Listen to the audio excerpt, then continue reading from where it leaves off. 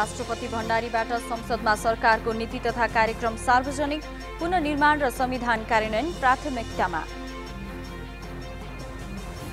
वैदेशिक रोजगार विभागले प्रवाह गर्ने सेवा प्रभावकारी भएन दैनिक सयौं सेवाग्राही हैरानी खेप्न बाध्य।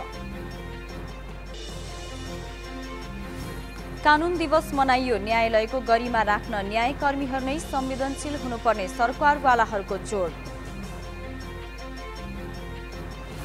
ग्रामीण भेगका अधिकांश श्रमिक महिला आफ्नो पक्षमा बनेका ऐन नियमबारे अनभिज्ञ पारिश्रमिक तथा सेवा सुविधामा विभेदको शिकार बन्दै।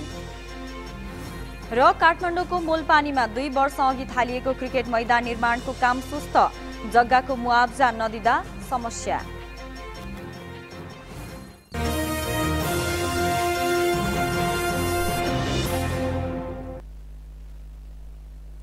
नमस्कार सगरमाथा समाचारमा स्वागत छ। म निर्मा टण्डन समाचार अब विस्तारमा। सरकारले आगामी आर्थिक वर्षको नीति तथा कार्यक्रम सदनमा पेश गरेको छ। भूकम्पबाट क्षतिग्रस्त संरचना पुननिर्माण र संविधान कार्यान्वयनलाई प्राथमिकतामा राखी सरकारले नीति तथा कार्यक्रम सार्वजनिक गरेको हो। एक रिपोर्ट।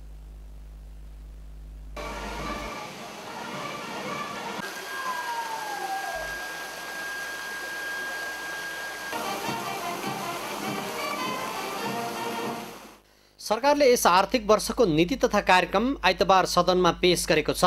भूकम्पपछिको पुनर्निर्माण र संविधान कार्यान्वयनमा जोड दिँदै सरकारले नीति तथा कार्यक्रम ल्याएको हो।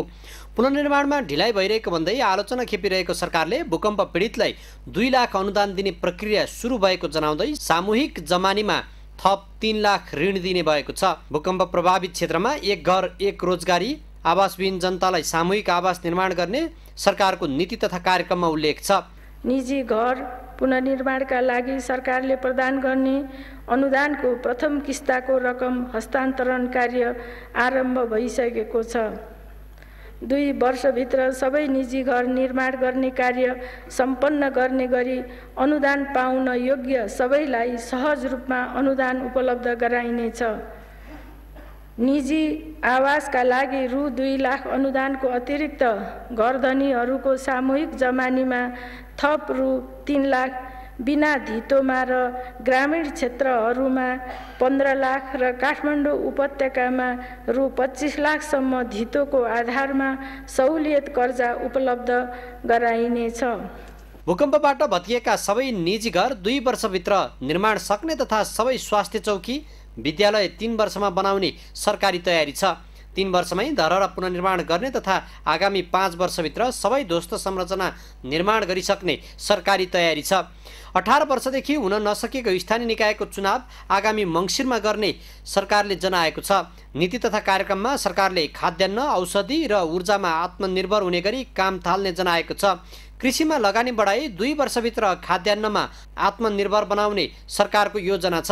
सङ्घीय संरचना अनुरूप स्थानीय तहको सङ्ख्या र सिमाना निर्धारण तथा कानुनी आधार तयार गर्न केही समय लाग्ने हुँदा विगत चौध वर्षदेखि जनप्रतिनिधि विहीन स्थानीय निकायको सङ्क्रमणकालीन व्यवस्था अनुरूप दुई हजार त्रिहत्तर साल मङ्सिर महिनामा निर्वाचन गरिनेछ। खाद्य औषधि र ऊर्जामा आत्मनिर्भर हुने बाटोबाट प्रस्थान गरी दिगो स्वाधीन आत्मनिर्भर र न्यायपूर्ण अर्थतन्त्र निर्माणतर्फ मुलुक अघि बढ्नेछ। कृषितर्फ मुख्य खाद्य वस्तुहरूमा आधारभूत रूपमा दुई वर्षमै आत्मनिर्भर हुने गरी सरकारले कृषिमा लगानी बढाउनेछ र खाद्य सुरक्षा हासिल गर्नेछ।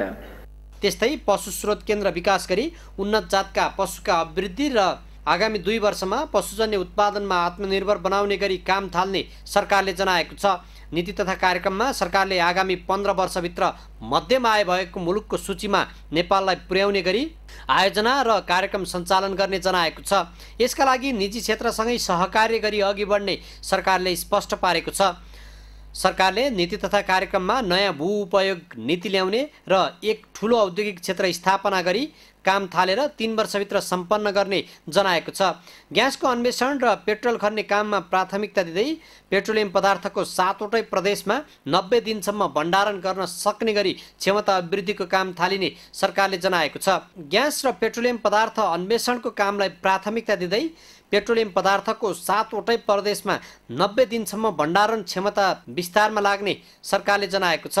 जलविद्युत र नवीकरणीय ऊर्जामा जोड दिँदै एक वर्षभित्र आधारभूत र दुई वर्षभित्र माग अनुरूप विद्युत उपलब्ध गराउने सरकारले नीति तथा कार्यक्रममा उल्लेख गरेको छ। साथै आगामी दुई हजार बयासीभित्र दस हजार मेगावट जलविद्युत उत्पादन गर्ने सरकारको लक्ष्य छ। यसका लागि निर्माणाधीन आयोजनालाई सम्पन्न गर्न विशेष प्राथमिकता दिने र जलविद्युत विकास गुरु योजना निर्माण गरी विद्युत प्रसारण लाइनको निर्माण द्रुत गतिमा गरिने सरकारले जनाएको छ। तराईका बाइस जिल्लामा समृद्ध तराई मधेस सिँचाइ विकास विशेष कार्यक्रम सञ्चालन गरिने भएको छ। यातायात विकासको पाँच वर्षीय रणनीति तय गरी डोल्पा र हुम्लालाई सडक मार्गमा जोड्ने तथा सबै गाविसलाई दुई वर्षभित्र सडक सञ्जालले जोड्ने सरकारको नीति तथा कार्यक्रममा उल्लेख छ। निर्माणाधीन सडक सञ्जालको विस्तार सबै सहरमा सडक फराकिलो पार्ने तथा विस्तार गर्ने सरकारले जनाएको छ। त्यस्तै कक्षा बाह्रसम्म अनिवार्य र निशुल्क शिक्षाको व्यवस्था गर्ने जेहेन्दार विद्यार्थीलाई शैक्षिक प्रमाणपत्रका आधारमा शिक्षा अध्ययनमा सहुलियत ऋणको व्यवस्था गर्ने सरकारले नीति तथा कार्यक्रममा उल्लेख गरेको छ। सरकारी शुल्क यी भुक्तानीमा गर्ने गरी व्यवस्था मिलाउने र सीमान्तकृत त्यस्तै नीति तथा कार्यक्रममा सीमान्तकृत बालबालिकालाई सबै तहको शिक्षा निशुल्क गरिने सरकारले जनाएको छ। सरकारी शुल्क यी भुक्तानीमा गर्ने गरी व्यवस्था मिलाउने सरकारले जनाएको छ। आफ्नो गाउँ आफै बनाऊ अभियानलाई पनि सरकारले निरन्तरता दिने भएको छ। दस लाख पर्यटक भित्र्याउने गरी सन् दुई हजार अठारलाई पर्यटन वर्षको रूपमा मनाइने भएको छ।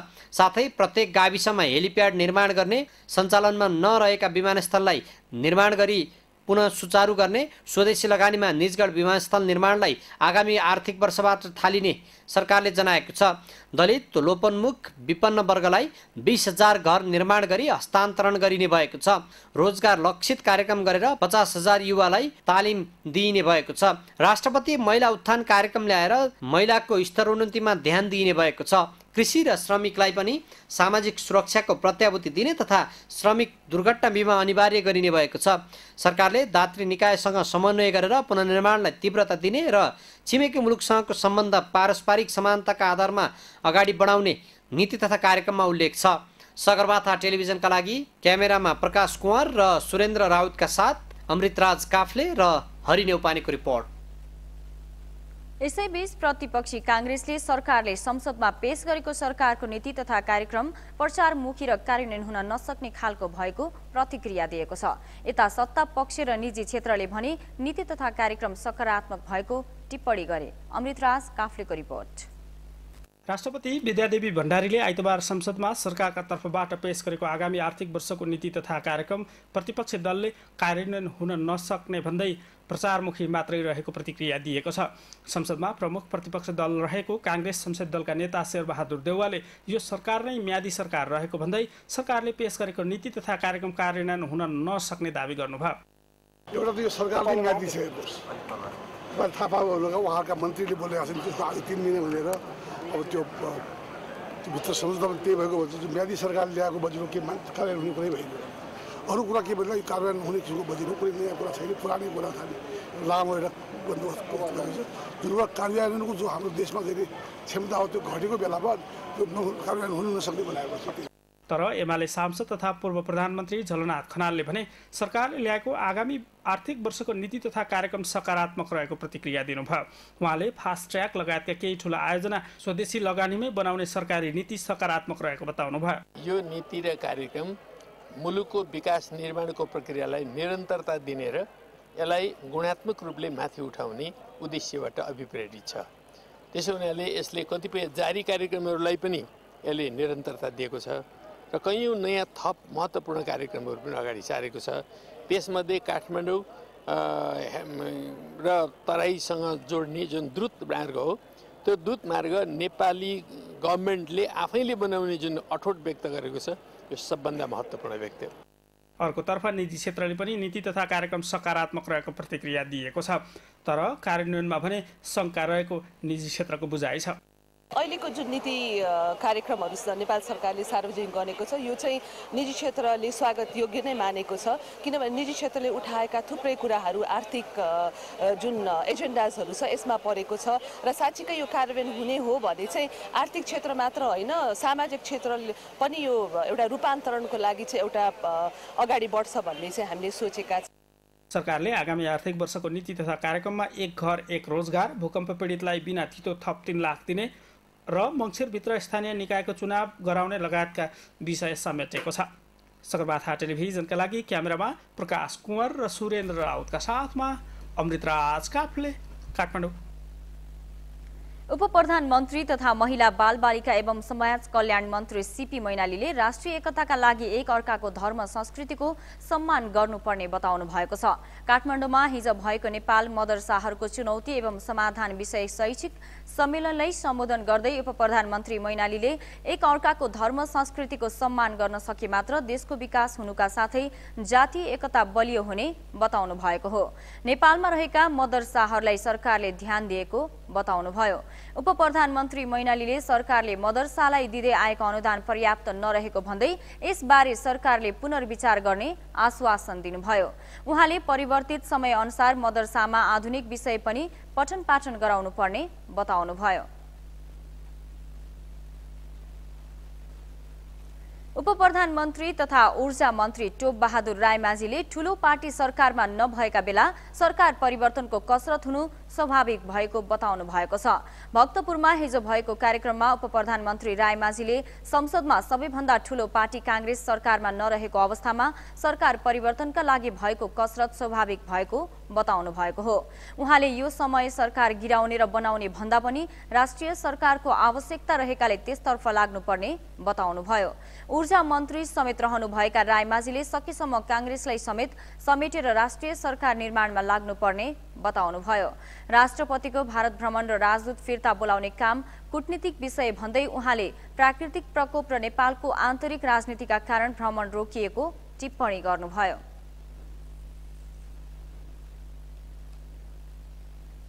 राष्ट्रिय मधेस समाजवादी पार्टीका अध्यक्ष शरद सिंह भण्डारीले नेपालबाट तराई मधेस खण्डित गर्ने खेलमा सरकार नै लागेको आरोप लगाउनु भएको छ।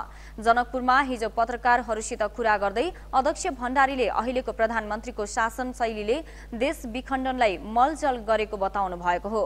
उहाँले प्रधानमन्त्री ओली मधेसप्रति असंवेदनशील असहिष्णु र अनुदार रहेको दावी गर्नुभयो।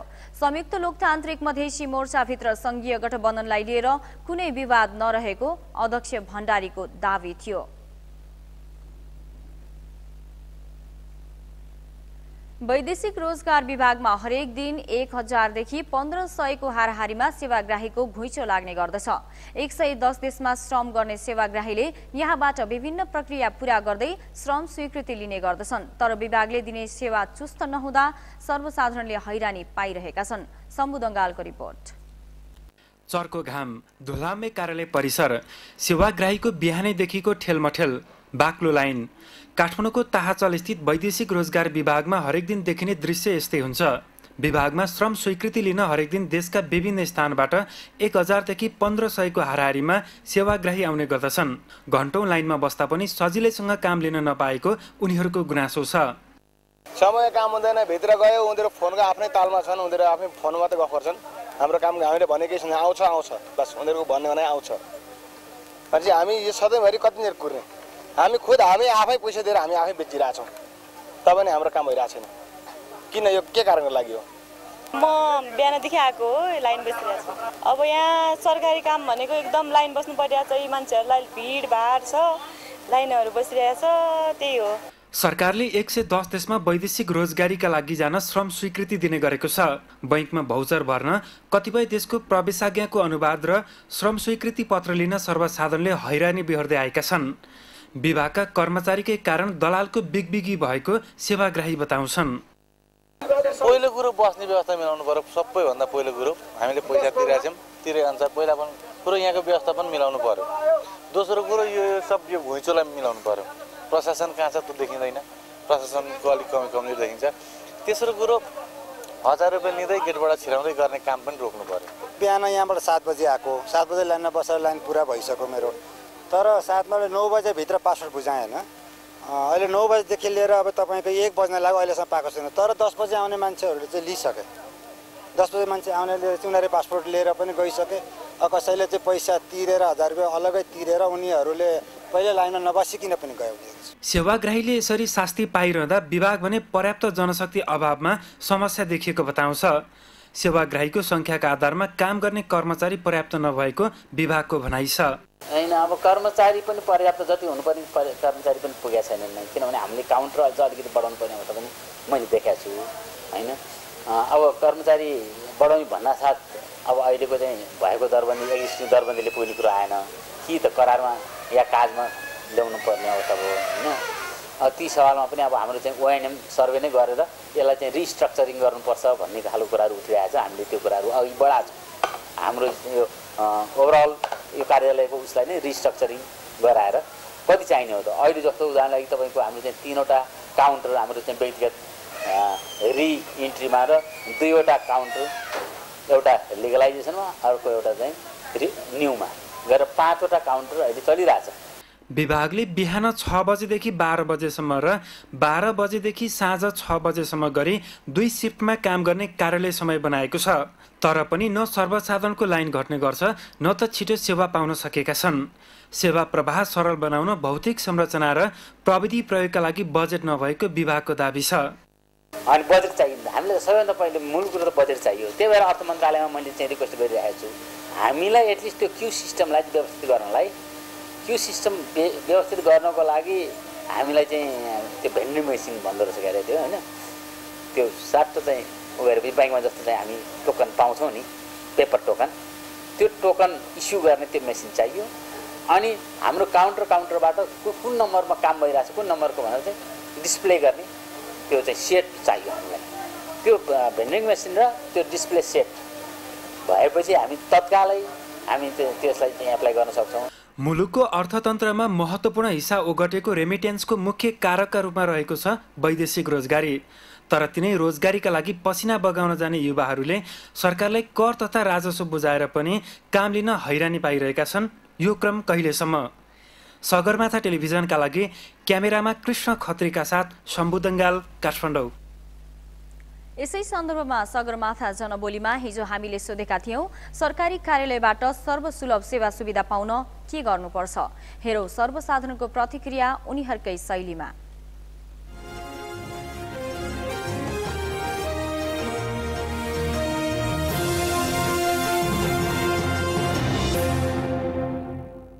बिहानदेखि सात बजीदेखि आएर लाइनमा बसिरहेको अब तपाईँले आफै अनुमान लगाउन सक्नुहुन्छ कतिको सुविधाजनक छ? भन्ने कुरो। सरकारले कतिको सुविधा दिएको छ भन्ने कुरो। सिस्टम अनि म्यानेजमेन्ट कतैतिर हाम्रो यहाँ व्यवस्थापन अलिकति राम्रो भएन। यसलाई केही सुधार गर्नुपर्छ जस्तो लाग्यो। घुसपेस पनि धेरै नै हुँदो रहेछ हेर्नुहोस्। त्यो अनुसार पनि छैन अनि त्यसपछि अब यहाँ हर चिजको व्यवस्था टोइलेटको व्यवस्था छैन मेन हेर्नुहोस्। अब पानीको व्यवस्था छैन राम्रो खालको। टोइलेट गरेर पानी हामीसँग छैन। अनि त्यो अनुसारले अब त्यो चाहिँ व्यवस्था पनि गर्नुपर्छ अब। कताबाट साथीहरूले घुस पिस अब नेताहरूले घुस पिस आएर अगाडि घुसाइरहे। मेरो मलेसिया हो जाने। अहिलेसम्म एक बजिसक्यो पासपोर्ट नाम दिए पनि छैन। भोगले हामी साह्रै अल्पर त परेका छौँ एउटा पानीको बोतललाई पच्चिस बिस्कुटको एउटा सानो पोखालाई पछि पछि हालेर खाइरहेका छौँ आजसम्म पासपोर्ट पनि पाएका छैनौँ। समस्या यही त नि पालो नदिने यस्तो साह्रो कुरेर बस्नुपर्ने। धुवाधुलो यस्तो छ। बुझ्नु पऱ्यो नि त सबैजनाले। सबै सबै अञ्चल अञ्चलमा दियो भने सबै अञ्चल अञ्चलमा दियो भने ठिक हुन्थ्यो सबै मान्छेको। अब पचहत्तर जिल्लाको मान्छे यता आउँछ ढिलो हुँदैन। पचहत्तर जिल्लाको मान्छे आउँछ यता। होइन सबै अञ्चल अञ्चलमा यो गऱ्यो भने ठिक हुन्थ्यो अब हाम्रो रेमिटेन्सले देश धान्नेको छ सिधै भन्दाखेरि। म युएमा काम गर्छु तपाईँको हाम्रै रेमिटेन्सले यो देशको अर्थतन्त्र धान्ने होला। तर यहाँ आएर हेर्दाखेरि आफैलाई लाज लाग्छ। एकदम आफैलाई लाज लाग्छ। बिहानदेखि भोको छु केही खाएकै छैन। अब एउटा पानी लिनु गयो तपाईँको पच्चिस रुपियाँ हुन्छ अब होटेलहरू नि यता नजिक कहीँ पनि छैन। यही हो समस्या अब हाम्रो यहाँ जुन स्टाफहरू हुनुहुन्छ उहाँहरूले चाहिँ अब कसरी यसको निराकरण गर्नुपर्दछ होइन? त्यसलाई चाहिँ अब राम्रो तरिकाले ढङ्गले चाहिँ उहाँले गर्नु पऱ्यो अब यहाँ त्यही हो मेन समस्या भनेको चाहिँ लाइनमा अब बस्नु पऱ्यो लाइन भन्दा पनि घाम घामको मेन समस्या देखिन्छ यहाँनिर। यस जनबोलीका प्रायोजक त्रिशक्ति सिमेन्ट असाधारण शक्ति सुरक्षित भविष्य। समाचारमा एकैछिन विश्राम। विश्रामपछि कानुन दिवस मनाइयो। न्यायालयको गरिमा राख्न न्याय कर्मीहरू नै संवेदनशील हुनुपर्ने सरकारवालाहरूको जोड। ग्रामीण भेगका अधिकांश श्रमिक महिला आफ्नो पक्षमा बनेका ऐन नियमबारे अनभिज्ञ। पारिश्रमिक तथा सेवा सुविधामा विभेदको शिकार बन्दै। र पाँच थर सदरमुकाम फिदिनको जोर सालदेखि तमोर नदी जोड्ने चौध किलोमिटर सडकको काम तीव्र। दुई महिनाभित्र सक्ने लक्ष्य।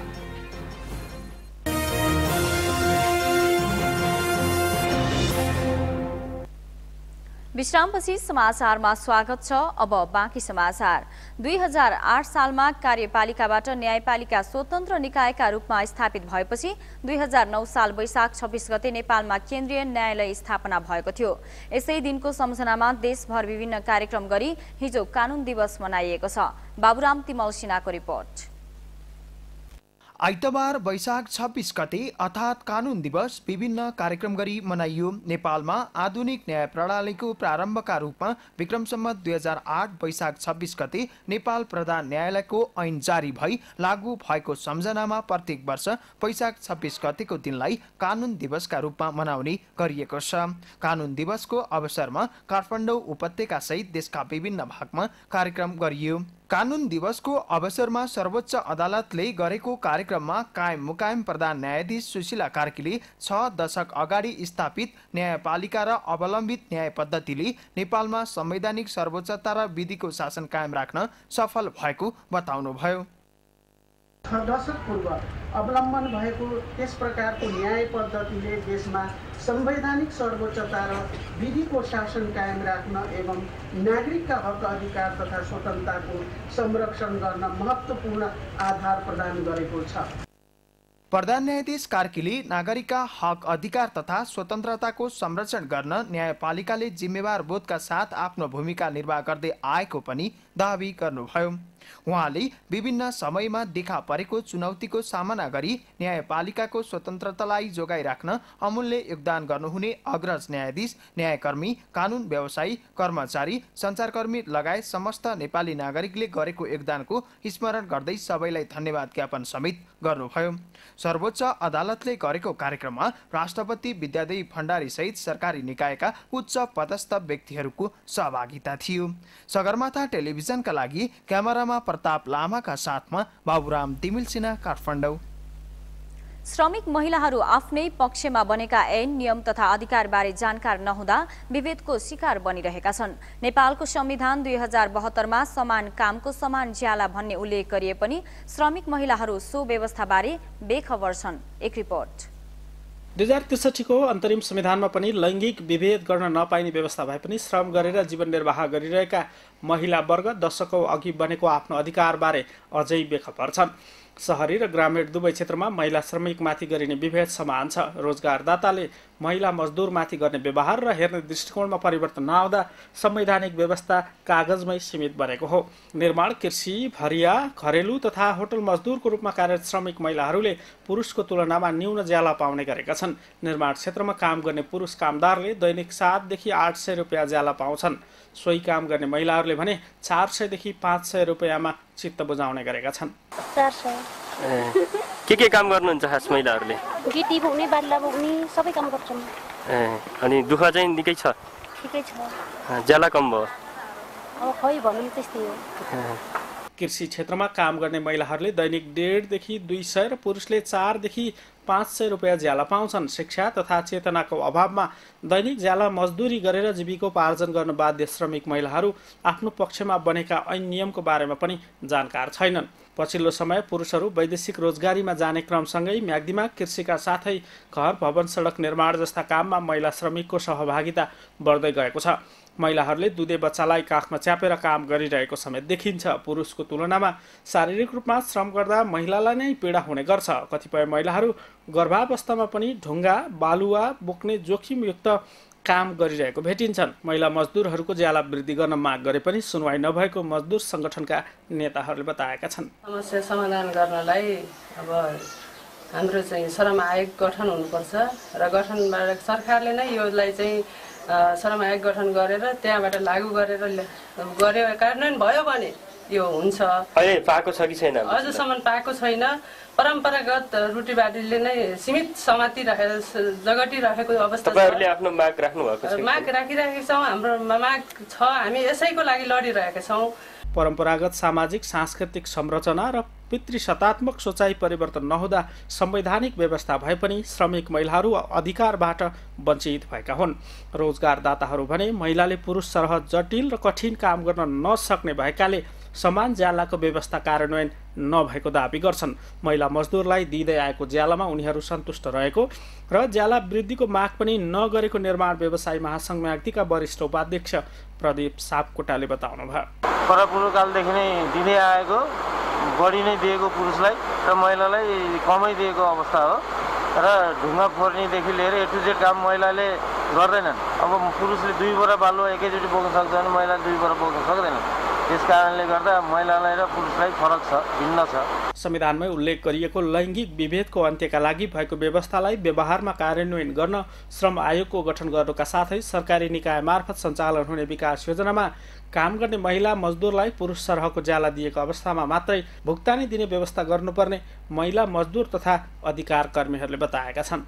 सगरमाथा टेलिभिजनका लागि म्याग्दीबाट सन्तोष गौतमको रिपोर्ट।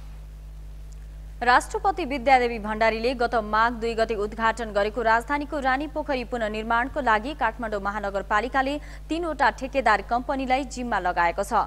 यससँगै व्यावहारिक रूपमै रानी पोखरी पुनर्निर्माण सुरु भएको छ। जितेन्द्र श्रेष्ठको रिपोर्ट। गत वर्ष वैशाख महिनामा गएको विनाशकारी भूकम्पले क्षति पुर्याएको राजधानी स्थित रानी पोखरी व्यावहारिक रूपमै पुनर्निर्माण कार्य सुरु भएको छ। पुनर्निर्माणको सुरुको समय पोखरीभित्र रहेका पानीका फोहरा दिने फाउन्टेन हटाउन समस्या देखिएको भन्दै पुनर्निर्माण कसरी गर्ने भन्ने अन्यलता थियो। तर काठमाडौँ महानगरपालिकाले जोखिमको जिम्मेवारी लिँदै तीनवटा कम्पनीलाई पुनर्निर्माणको ठेक्का सम्झौता गरेपछि रानी पोखरीको पुनर्निर्माण कार्य अघि बढेको हो। खरिद प्रक्रियामा अवलम्बन गर्नुपर्ने समयहरू छ सीमा छ। त्यसको कारणले केही समय ढिला भएको थियो। र त्यो एउटा एकदम सहज ढङ्गबाट एउटा ठिक टाइममा सक्यो र यो चाहिँ हामीले अस्ति वैशाख बाह्र गतेबाट काम नै सुरु गरिसकेका छौँ। अहिले त्यसको घेराबन्दी गरेर त्यसपछि त्यहाँको मूर्तिहरू त्यहाँ जुन पुरातात्विक महत्त्वको मूर्तिहरू छाउनी छाउनीको हाम्रो सङ्ग्रहालयमा राखेका छौँ। केही मूर्तिहरू हामीले उसमै त्यो के त्यही ठाउँमा चाहिँ हामीले व्यवस्थापन गरेका छौँ। मेन त्यो गजुरहरू निकाल्ने काम अब सुरु गरिसकेका छौँ। त्यसपछि मेन भित्रको मूर्तिहरूको चाहिँ काम भइसकेको छ। त्यसपछि गएर त्यो रानी पोखरीको पानी सुकाएर चाहिँ हिलो फाल्ने लेदो फाल्ने काम भइसकेको छ। रानी पोखरीमा भएको माछालाई बालाजीमा हाम्रै उसमा चाहिँ महानगरपालिकाकै हाम्रो बालाजी पार्कमा रहेको पोखरीमा लगेर चाहिँ त्यहाँ पोखरी खाली गराएर त्यहाँ माछा स्थानान्तरण गरिरहेका छौँ अहिले। र अहिले पानी फालेर लगभग लगभग पानी फालेर सिद्धिसकेको अवस्था छ। त्यसपछि गएर केही समयपछि हामी फाउन्टेन त्यो पहिला राखेका थियौँ। त्यो फाउन्टेनलाई हामी एकदम सतर्कताका साथ झिकेर त्यसपछि हिलो फालेर त्यस त्यहाँ हिलो सफा गरिसकेपछि पोखरीमा फेरि पानी भर्ने काम र वरिपरिको कामहरू चाहिँ पछि सँगसँगै हुन्छ। अहिले रानी पोखरीभित्रको पुरातात्विक सामग्री सुरक्षित स्थानमा सार्ने र मन्दिर भत्काउने काम सुरु भएको छ। रानी पोखरी निर्माण गर्ने जिम्मेवारी ओल्ड वाइट कम्पनी कणेल निर्माण सेवा र केएनकेजी कम्पनीले लिएको छ। आगामी कार्तिक महिनाभित्र पुनर्निर्माण सम्पन्न गरी सञ्चालनमा ल्याउने महानगरपालिका र ठेकेदारबीच सम्झौता भएको छ। पुनर्निर्माणका लागि सात करोड रुपियाँ बजेट छुट्याइएको छ। को कस्ट चाहिँ हाम्रो काठमाडौँ महानगरपालिका आफैले बिहोर्छ। जसको लागि चाहिँ हामीले नेपाल सरकारको जगडा कोष भन्छ। जगडा कोषबाट चाहिँ केही रकम हामीले लिएर आएको छ। बाँकी पैसा हामी आफ्नै कोषबाट गरेका छौँ। त्यो चाहिँ हाम्रो आफ्नै कोषभित्रको पैसा हो सबै। पुनर्निर्माण अवधिभर रानी पोखरीको माछा महानगरपालिकाको बालाजु स्थित पोखरीमा सारिएको छ। गत वर्षको वैशाख बाह्र गते विनाशकारी भूकम्पले क्षति पुर्याएको काठमाडौँको रानी पोखरी गत माघ दुई गते राष्ट्रपति विद्यादेवी भण्डारीले पुनर्निर्माण महाअभियान अन्तर्गत उद्घाटन गरे पनि यही वैशाख बाह्र गतेबाट यहाँ पुनर्निर्माण सुरु भएको छ। यो पुनर्निर्माण अभियान पाँच महिनामा सकिने काठमाडौँ महानगरपालिकाले बताएको छ। सगरमाथा टेलिभिजनका लागि क्यामेरामा उत्सव वाग्लेका साथ जितेन्द्र श्रेष्ठ रानी पोखरी काठमाडौँ। समाचारमा पुनः एकैछिन विश्राम। विश्रामपछि पाँच थर सदरमुकाम फिदिमको जोरसालदेखि तमोर नदी जोड्ने चौध किलोमिटर सडकको काम तीव्र। दुई महिनाभित्र सक्ने लक्ष्य। र काठमाडौँको मूलपानीमा दुई वर्ष अघि थालिएको क्रिकेट मैदान निर्माणको काम अघि बढेन जग्गाको मुआवजा नदिँदा समस्या।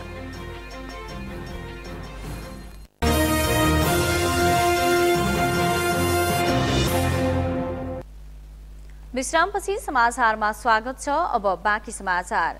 राष्ट्रिय गौरवको आयोजनाका रूपमा लिएको मध्य पहाडी पुष्पलाल लोकमार्ग अन्तर्गत पूर्वी खण्डमा पर्ने पाँच थर सदरमुकाम फिदिम पाँच जोरसालदेखि तमोर नदी जोड्ने चौध किलोमिटर क्षेत्रमा कालोपत्रे गर्ने कामले तीव्रता पाएको छ।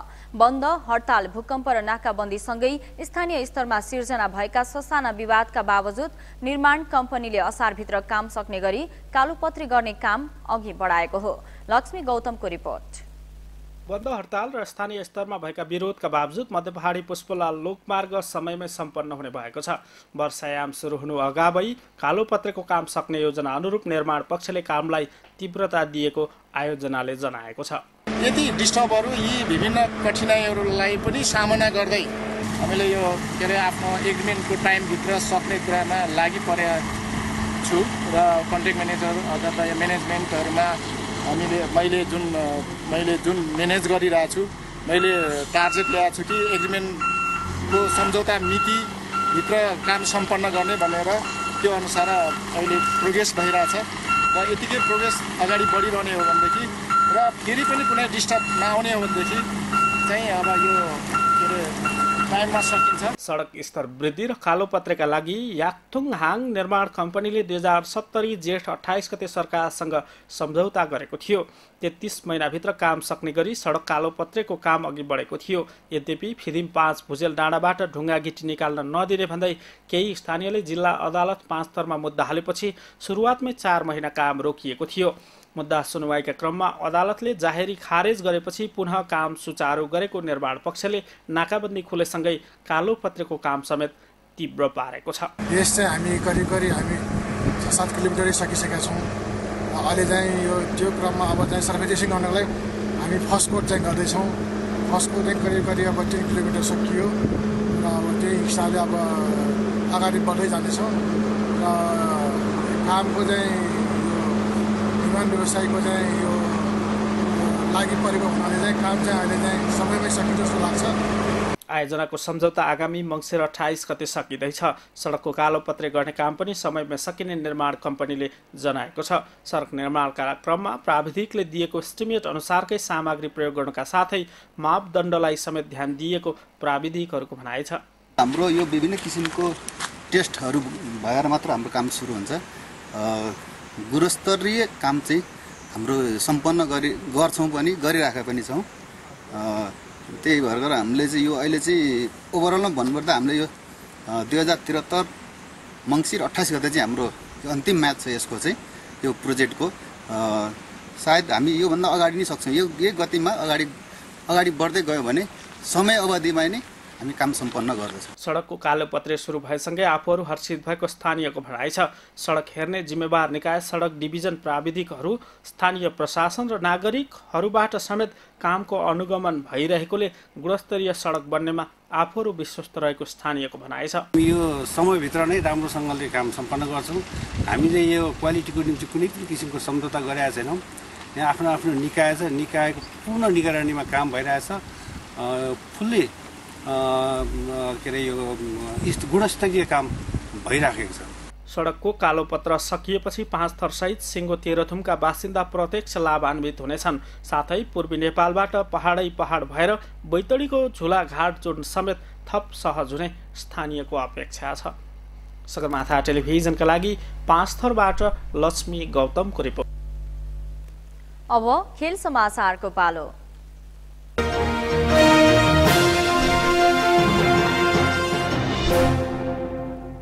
सरकारले नेपालमा क्रिकेटको विकास तथा विस्तार गर्न मूलपानीमा अन्तर्राष्ट्रिय स्तरको क्रिकेट मैदान निर्माण कार्य थालेको पनि करिब दुई वर्ष भइसक्यो।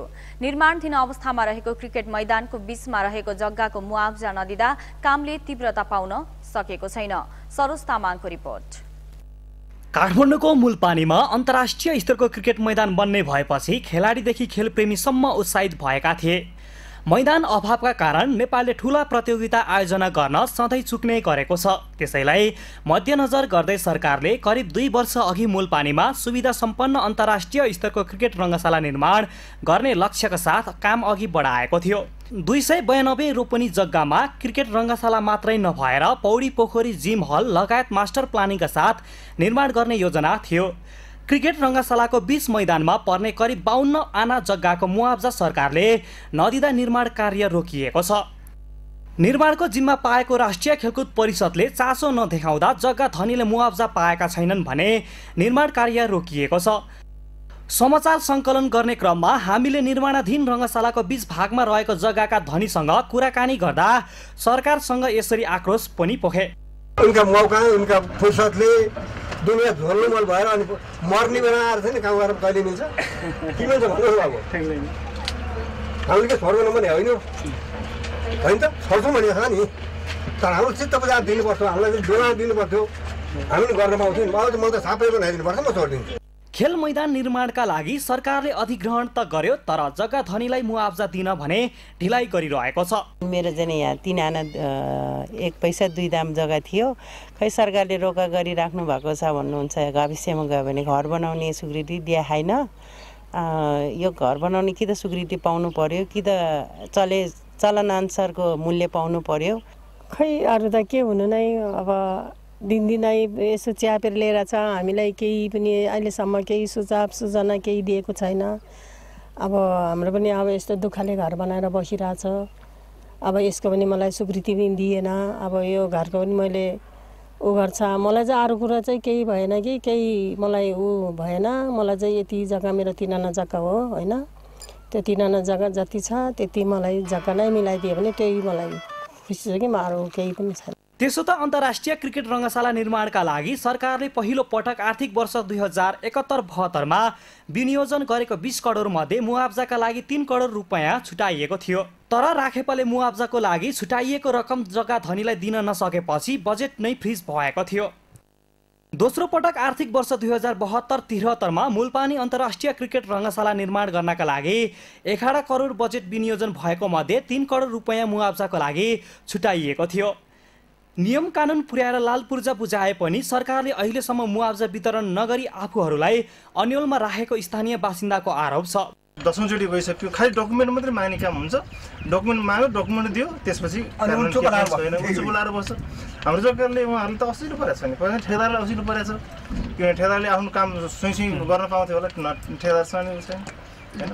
हामी यति मर्कामा परेको छौँ भने सायद त्यसो त रङ्गशालाको निर्माण कार्य सुरु हुँदा नै मुआवजा वितरण गरेको भए थोरै रकममै समस्या समाधान हुने थियो।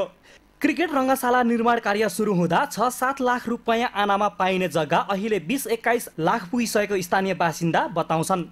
राखेपाले दस घर सुकुम्बासीलाई दुई लाखको दरले रकम बुतिएर हटाए पनि असली जग्गा धनीलाई मुआवजा नदिँदा मैदान निर्माणको काम गर्न नसकिएको ठेकेदार बताउँछन्। जग्गाको मुआवजा दिएर जग्गा उठ्यो भने जग्गा उठ्यो भने बल्ल यसको ग्रान्ड के कसो भन्ने सबै दिन्छ। जति सुगमवासीहरू उठाएर सुगमवासीहरूलाई केही हातहरू उठाएर उठाएर अहिले ग्राउन्डको बनाइयो। त्यस्तै मुआवजा टुङ्गियो भने अनि बल्ल यो के भन्ने कसो भन्ने अहिलेसम्म यो अडाएको भनेको मुआवजाको कारणले अडिएको छ। करिब बिस हजार दर्शक क्षमताको सुविधा सम्पन्न अन्तर्राष्ट्रिय मान्यता प्राप्त क्रिकेट मैदान बनाउने लक्ष्यका साथ काम थालेको पनि दुई वर्ष बितिसक्यो तर निर्माण कार्य सुस्त गतिमा छ। करिब छिहत्तर करोडको लागतमा निर्माण हुने भनिएको सुविधा सम्पन्न क्रिकेट रङ्गशाला ढिलाइ हुनुको एक प्रमुख कारण हो मुआवजा। राष्ट्रिय खेलकुद परिषदले दुई वर्ष बितिसक्दा पनि मुआवजा वितरण गर्न सकेको छैन जसले गर्दा मूलपानीमा बन्दै गरेको क्रिकेट स्टेडियममा समस्या उत्पन्न भएको छ। सगरमाथा टेलिभिजनका लागि क्यामेरामा राजेश थापा मगरका साथमा सरोज तामाङ मूलपानी। हामी समाचारको अन्त्यमा छौँ। अन्त्यमा प्रमुख समाचार फेरि एकपटक। राष्ट्रपति भण्डारीबाट संसदमा सरकारको नीति तथा कार्यक्रम सार्वजनिक पुनर्निर्माण र संविधान कार्यान्वयन प्राथमिकतामा। वैदेशिक रोजगार विभागले प्रवाह गर्ने सेवा प्रभावकारी भएन। दैनिक सयौं सेवाग्राही हैरानी खेप्न बाध्य। कानुन दिवस मनाइयो न्यायालयको गरिमा राख्न न्यायकर्मीहरू नै संवेदनशील हुनुपर्ने सरकारवालाहरूको जोड। ग्रामीण भेगका अधिकांश श्रमिक महिला आफ्नो पक्षमा बनेका ए नियमबारे अनभिज्ञ। पारिश्रमिक तथा सेवा सुविधामा विभेदको शिकार बन्दै। र काठमाडौँको मूलपानीमा दुई वर्ष अघि थालिएको क्रिकेट मैदान निर्माणको काम सुस्त। जग्गाको मुआवजा नदिँदा समस्या।